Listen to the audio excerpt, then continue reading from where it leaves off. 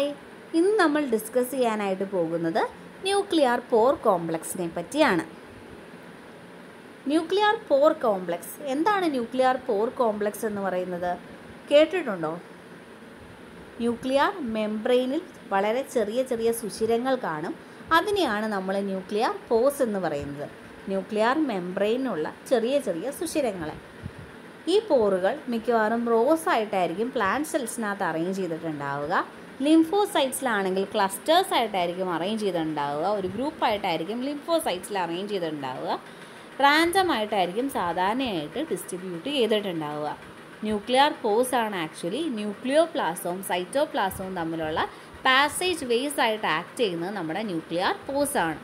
ഈ ഡയഗ്രത്തിൽ നോക്കിക്കഴിഞ്ഞാൽ ന്യൂക്ലിയർ പോറിനെ കാണാം. അല്ലേ? ന്യൂക്ലിയർ പോർ എന്ന് പറയുന്ന സ്ട്രക്ചർ നമുക്ക് ഈ ഡയഗ്രം നോക്കിക്കഴിഞ്ഞാൽ കാണാനായിട്ട് പറ്റും. പുറമേയുള്ള സൈറ്റോപ്ലാസവും അകത്തുള്ള ന്യൂക്ലിയോ പ്ലാസവും തമ്മിൽ കമ്മ്യൂണിക്കേറ്റ് ചെയ്യാൻ അല്ലെങ്കിൽ പാസേജ് വേസ് ട്രാൻസ്പോർട്ട് ചെയ്യാൻ ചില ചില സബ്സ്റ്റൻസുകളെ ട്രാൻസ്പോർട്ട് ചെയ്യാനുള്ള പാസേജ് പാത്ത്വേസ് ആണ് ആക്ച്വലി ഈ ന്യൂക്ലിയർ പോസ് എന്ന് പറയുന്നത്. The nuclear pore has a complex organization nuclear പോറിന് ഒരു കോംപ്ലക്സ് ഓർഗനൈസേഷൻ ആണുള്ളത്. അതുകൊണ്ടാണ് നമ്മൾ അതിനെ ന്യൂക്ലിയർ പോർ കോംപ്ലക്സ് എന്ന് പറയുന്നത്. ന്യൂക്ലിയർ പോറിന് സർക്കുലാർ ഔട്ട്ലൈൻ ആണ് നമ്മൾ സർഫസ് വ്യൂ എടുത്ത് നോക്കിക്കഴിഞ്ഞാൽ കാണാനായിട്ട് പറ്റുക. ഇനി ഈ പോറിന്റെ നടുക്കായിട്ട് സെൻട്രലായിട്ട് ഒരു പാസേജ് ഉണ്ട്. അതിനെയാണ് നമ്മൾ സെൻട്രൽ ചാനൽ എന്ന് പറയുന്നത്. പോറിന് നടുക്കായിട്ടുള്ള പാസേജിനെയാണ് നമ്മൾ സെൻട്രൽ ചാനൽ എന്ന് പറയുന്നത്. നോക്കി ഇതാണ് അതിന്റെ സെൻട്രൽ ചാനൽ എന്ന് പറയുന്നത്. സെൻട്രൽ ചാനലിനെ സറൗണ്ട് ചെയ്തുകൊണ്ട് ഒരു സെൻട്രൽ ഹബ്ബ് ഉണ്ട്. അതിനെ നമ്മൾ ട്രാൻസ്പോർട്ടർ എന്ന് പറയുന്നു. സെൻട്രൽ ചാനലിനെ ആ സെൻട്രലിൽ കാണുന്ന ചാനലിനെ സറൗണ്ട് ചെയ്തുകൊണ്ട് ഒരു സെൻട്രൽ ഹബ്ബ് ഉണ്ട്. അതിനെ നമ്മൾ ട്രാൻസ്പോർട്ടർ എന്നാണ് വിളിക്കുന്നത്. Transporter is made up of two proteinaceous rings call irises transporter രണ്ട് പ്രോട്ടീനീഷ്യസ് ആയിട്ടുള്ള റിങ്സ് വെച്ചാണ് ഉണ്ടാക്കിയിരിക്കുന്നത്. അതിനെ നമ്മൾ ഐറിസസ് എന്നാണ് പറയുന്നത്. The two irises are placed one above the other രണ്ട് ഐറസുകളും ഒന്നിനു മുകളിലായിട്ടാണ് അറേഞ്ച് ചെയ്തേക്കുന്നത്. അപ്പോൾ ഇതിനകത്ത് നമ്മൾ പറഞ്ഞു ന്യൂക്ലിയർ പോർ കോംപ്ലക്സിന് നടുക്കായിട്ടൊരു സെൻട്രൽ ചാനലുണ്ട് ആ സെൻട്രൽ ചാനലിനെ സറൗണ്ട് ചെയ്തുകൊണ്ട് ഒരു ട്രാൻസ്പോർട്ടറാണ് ഉള്ളത് എന്ന് പറഞ്ഞു.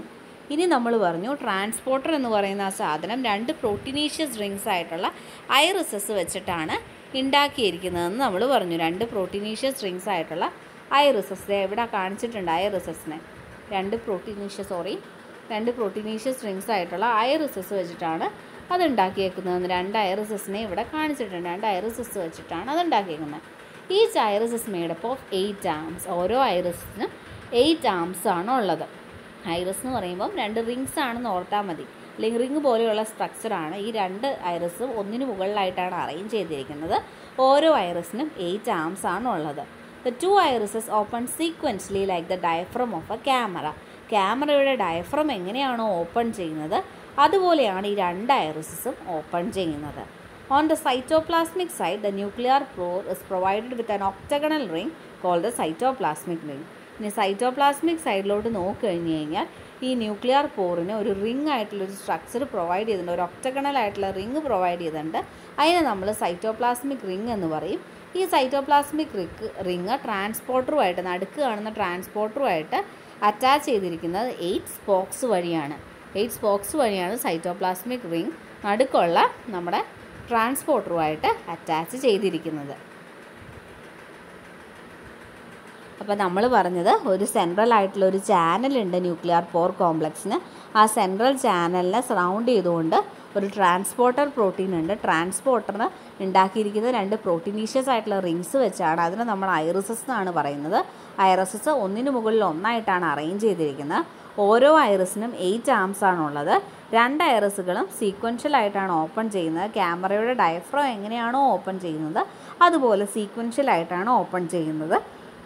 സൈറ്റോപ്ലാസ്മിക് സൈഡിനകത്ത് ന്യൂക്ലിയർ പോറിന് ഒരു ഒക്ടഗണൽ ആയിട്ടുള്ള റിംഗ് ഉണ്ട്. അതിനെ നമ്മൾ സൈറ്റോപ്ലാസ്മിക് റിംഗ് എന്നാണ് പറയുന്നത്. സൈറ്റോപ്ലാസ്മിക് റിംഗ് ട്രാൻസ്പോർട്ടറുമായിട്ട് അറ്റാച്ച് ചെയ്തിരിക്കുന്നത് എയ്റ്റ് സ്പോക്സ് വഴിയാണ്. താഴെ നിന്നുള്ള സ്പോക്സിന്റെ ഡയഗ്രം ഇവിടെ കാണിച്ചിട്ടുണ്ട്. താഴെ നിന്നുള്ള സ്പോക്സിന്റെ ഡയഗ്രം ഈ സ്ട്രക്ചറിൽ നമുക്ക് കാണാനായിട്ട് പറ്റും. Similarly, on the nuclear side, the nuclear pore is provided with another octagonal ring called the nucleoplasmic ring. അതുപോലെ തന്നെ ന്യൂക്ലിയർ സൈഡിനകത്ത് ഒരു ന്യൂക്ലിയർ ന്യൂക്ലിയർ സൈഡിനകത്ത് ഒരു ഒക്ടഗണലായിട്ടുള്ള റിംഗ് ഉണ്ട്. അതിനെ നമ്മൾ ന്യൂക്ലിയോ പ്ലാസ്മിക് റിംഗ് എന്നാണ് പറയുന്നത്. ഒക്ടഗണലായിട്ടുള്ളത് ന്യൂക്ലിയർ റിംഗ് എന്ന് പറഞ്ഞ് ഇവിടെ ലേബൽ ചെയ്തിട്ടുണ്ട്. ന്യൂക്ലിയർ പ്ലാസ്മിക് റിംഗ് എന്നാണ് പറയുന്നത്. അതിനെയും കണക്ട് ചെയ്തുകൊണ്ട് എയ്റ്റ് സ്പോക്സ് ആണുള്ളത്. അതും ട്രാൻസ്പോർട്ടറേയും കണക്ട് ചെയ്തുകൊണ്ട് എയ്റ്റ് സ്പോക്സ് തന്നെയാണ് ഉള്ളത്. The space between the spokes is called an aqueous channel. സ്പോക്സിന് ഇടയ്ക്കുള്ള ആ സ്പേസിനെ നമ്മൾ അക്വസ് ചാനൽ എന്നാണ് പറയാറുള്ളത്. On the nucleoplasmic side, the nuclear pore is provided with a basket. Nucleoplasmic സൈഡിൽ ന്യൂക്ലിയർ പോറിന് ഒരു ബാസ്ക്കറ്റ് ഉണ്ട്. അതിനെ നമ്മൾ ന്യൂക്ലിയർ ബാസ്ക്കറ്റ് എന്നാണ് പറയാറുള്ളത്. ഈ ബാസ്ക്കറ്റ് എന്ന് പറയുന്നത് ആക്ച്വലി ഒരു സ്മോൾ റിംഗ് ആണ്. എയ്റ്റ് ഫിലമെന്റ്സ് കൊണ്ട് ഉണ്ടാക്കിയിരിക്കുന്ന ഒരു സ്മോൾ റിംഗ് ആണ്. Connecting the small ring and the nucleoplasmic ring eight filaments ആണ് കണക്ട് ചെയ്യുന്നത് ഈ സ്മോൾ റിങ്ങിനെയും അതുപോലെ ന്യൂക്ലിയോപ്ലാസ്മിക് റിങ്ങിനെയും കണക്ട് ചെയ്തുകൊണ്ട് എയ്റ്റ് റിങ്സ് ആണുള്ളത്. A number of cytoplasmic granules and cytoplasmic filaments are attached to the cytoplasmic ring. Cytoplasmic ring എന്ന് പറയുന്ന ഈ സ്ട്രക്ചറിനകത്തേക്ക് കുറേയധികം സൈറ്റോപ്ലാസ്മിക് ഗ്രാനുൾസ് അറ്റാച്ച്ഡ് ആണ്. ആ സൈറ്റോപ്ലാസ്മിക് ഗ്രാനുൾസിൽ നിന്ന് സൈറ്റോപ്ലാസ്മിക് ഫിലമെൻസും എറൈസ് ചെയ്യുന്നുണ്ട്.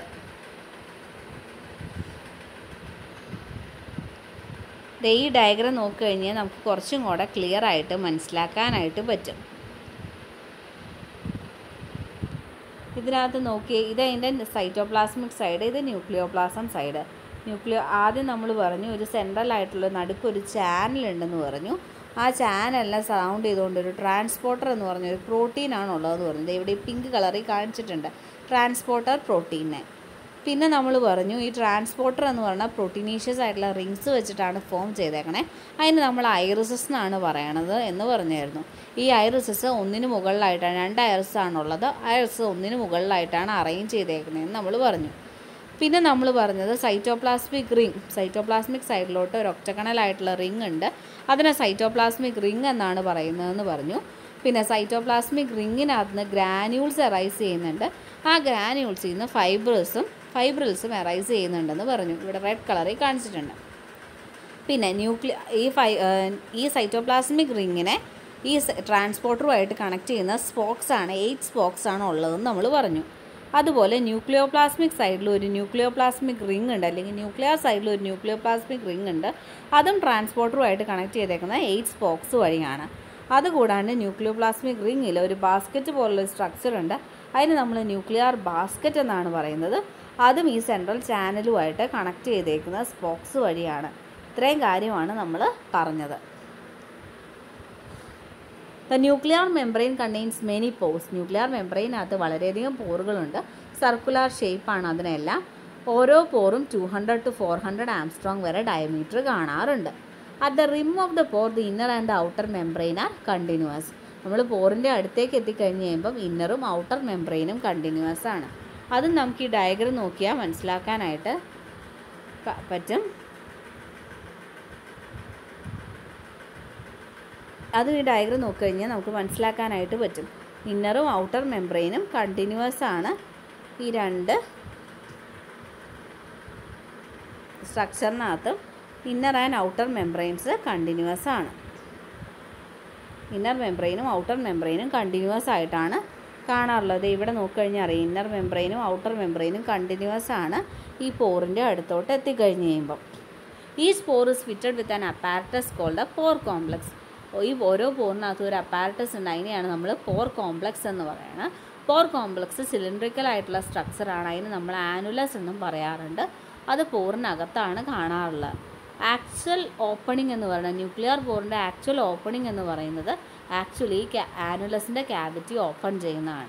Outer end of the annulus extends into the cytoplasm inner end extends into the nucleoplasm.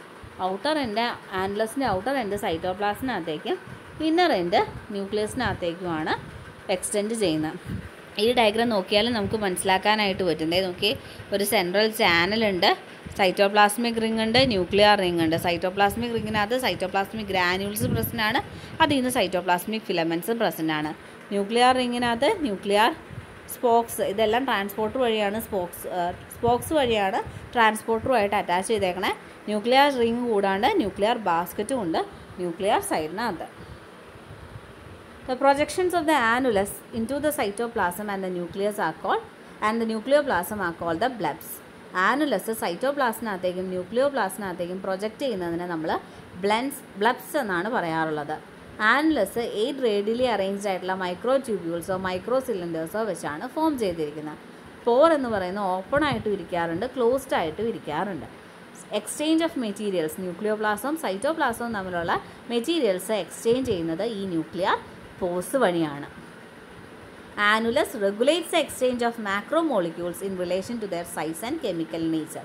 Annulus ആണ് ഏതൊക്കെ മെറ്റീരിയൽസ് എക്സ്ചേഞ്ച് ചെയ്ത് പോകണം അവരുടെ സൈസും കെമിക്കൽ നേച്ചറും അനുസരിച്ച് ഏതൊക്കെ മോളിക്യൂൾസ് എക്സ്ചേഞ്ച് ചെയ്യണമെന്ന് തീരുമാനിക്കുന്നത് ആനുലസ് എന്ന് പറഞ്ഞ സ്ട്രക്ചറാണ് സെൽ ഡിവിഷന്റെ സമയത്ത് ന്യൂക്ലിയർ മെംബ്രെയിൻ ബ്രേക്ക് ഡൗൺ ചെയ്യും എന്നിട്ട് ഡിസപ്പിയർ ചെയ്യും റീ അപ്പിയർ ചെയ്യുന്നത് സെൽ ഡിവിഷൻ കഴിഞ്ഞതിന് ശേഷമാണ്.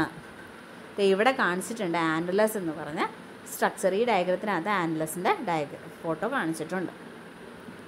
ഇനി ന്യൂക്ലിയർ പോർ കോംപ്ലക്സിന്റെ ഫങ്ഷൻസ് എന്തൊക്കെയാണെന്ന് നോക്കാം.